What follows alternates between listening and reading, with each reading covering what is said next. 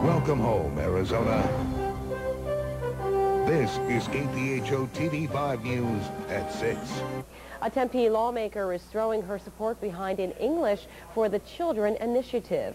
Representative Laura Knaperek has long tried to reform the state's bilingual education system. Knaperek says Proposition 203 is the best way to get children to learn English. The proposition provides non-English speakers with a year of intensive English classes and then allows the students to move into a regular classroom.